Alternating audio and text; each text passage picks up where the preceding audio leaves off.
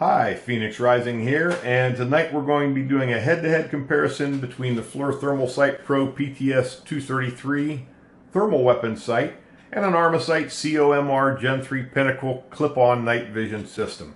We're going to be doing this testing at 100, 200, and 300 yards on a pitch black night, so it's going to be uh, challenging for the Gen 3 night vision, and we're also going to be using some illuminators to show you how they work and how they how well they function. Uh, so let's go over this equipment and uh, then we'll head out to the range. Okay, FLIR Thermosight Pro PTS 233. This is an entry-level thermal scope. It's also a very utilitarian thermal scope.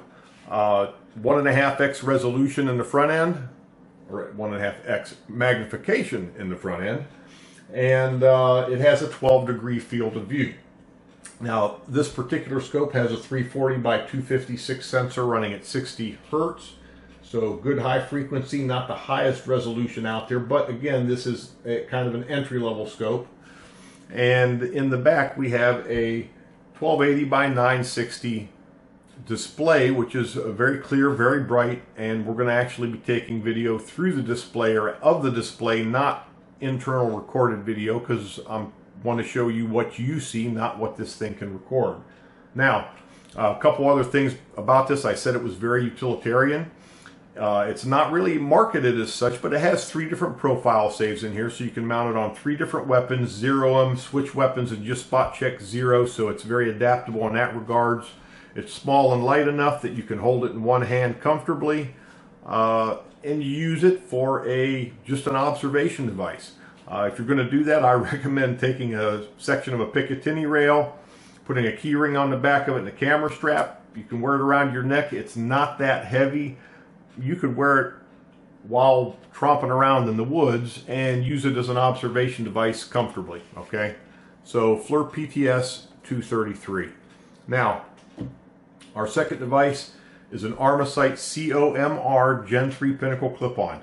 This is a has an ITT or IIT Gen 3 Pinnacle image tube in it at 60 running 64 line pairs per millimeter. So very fine detail resolution coming out of this thing very high light amplification.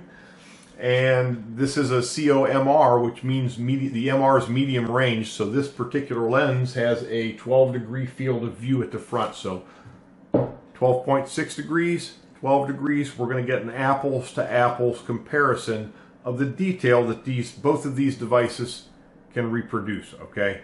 So and, and to me that was important in doing this test because it's if you're looking with things at different magnifications and uh, it makes it kind of hard to really see the true difference. Now uh, this is the back end of our COMR as you can see traditional uh, green night vision display now, I will say when we're out here taking video that uh, it's going to be kind of difficult to get good video through the back of this, as it is through any traditional night vision device. The reason for that is these don't put out a lot of light.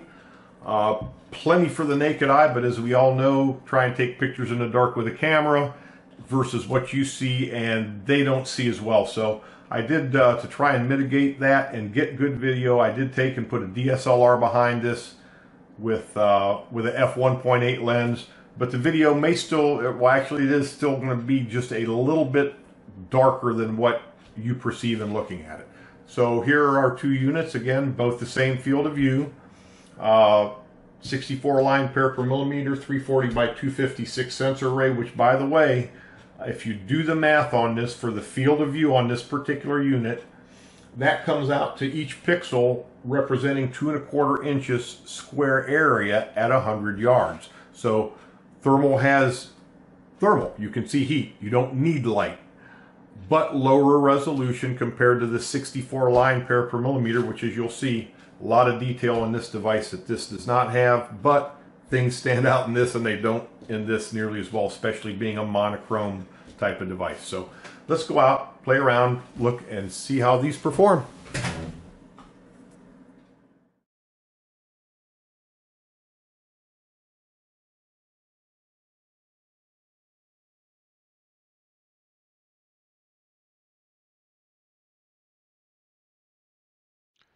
This is the range we'll be doing our testing at. On the left, far left, you see a 50 yard target, then berms at 100, 200, and 300 yards. This clip was taken a couple days prior to the actual test, so uh, different targets are up on the uh, target stands.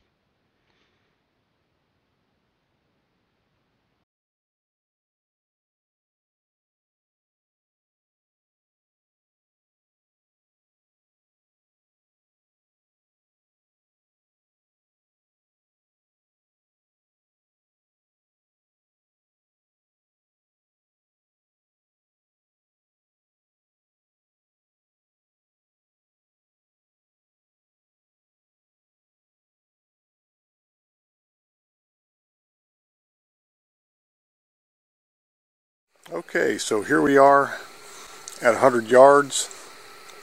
Uh, that's my son standing there. Let me see if I can get this thing focused a little better. There we go. Now as you can see in uh, thermal at 100 yards, my son stands out uh, very clear. Uh, not so much so on the Gen 3, but you do have detail. And this is without illumination, pitch black night, worst case viewing. Okay, so let's turn on our 940 on low, uh, which is at 100 yards is barely visible. And now, look at the difference. Uh, we're going to go ahead and I'm going to have him go out to 200 and then 300. Okay, go on out to 200. Okay, so and he's got his headlight on. Of course, the thermal doesn't detect visible light, so.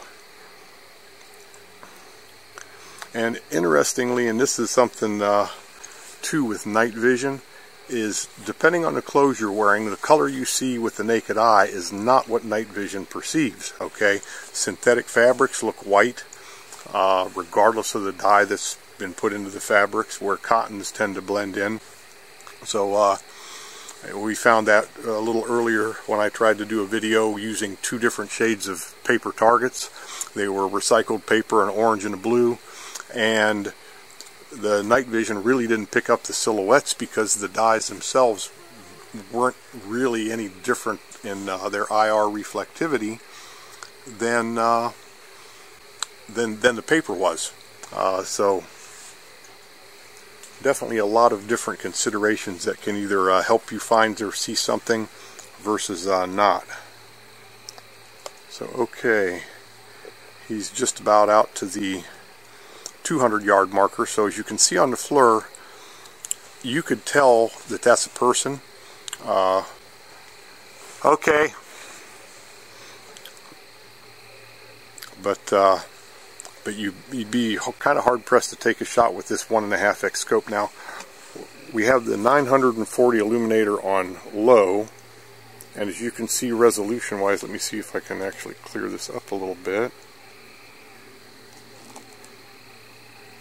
You can see at 200 yards on this Gen 3 device, you have clarity, but unless something's moving, uh, you have detail, but because it's monochrome, uh, you're likely to miss a target where you won't with thermal. That's the biggest advantage of thermal. But you do have much more detail with uh, the Gen 3. So let's brighten that up just a little bit. Okay, now that's 940 illuminator on medium. Uh, and it is absolutely invisible at 200 yards.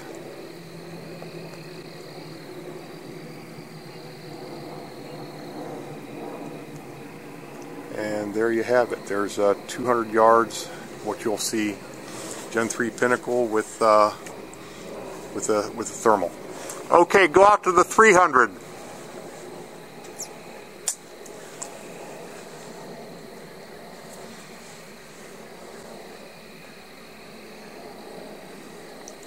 So let's uh, focus our night vision here at uh, to the 300 yards.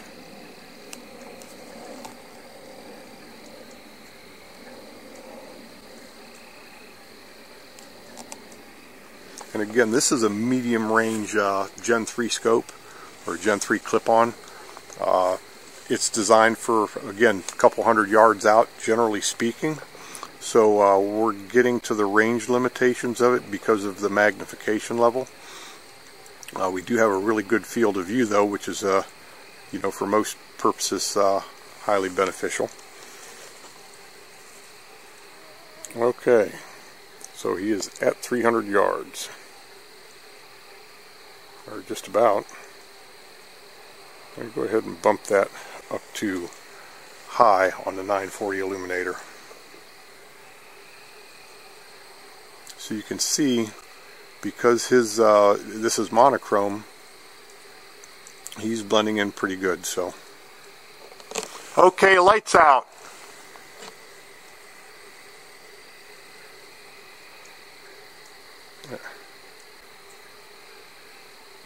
okay.